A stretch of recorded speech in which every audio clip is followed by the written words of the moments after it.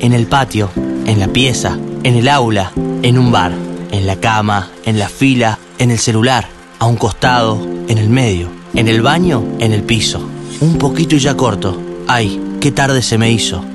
Con dibujos, pura letra, finitos y gruesos, tapadura, perretas, ajados o tiesos, baratos y caros, fotocopias, usados, PDF, piratas, con traje y corbata mágicos, predictivos, antiguos y memoriosos, pedestres, peatonales, peligrosos, de pensar, de sanar o de herir, de rogar que no se acaben, de tenerlos que dejar y no poderlos seguir.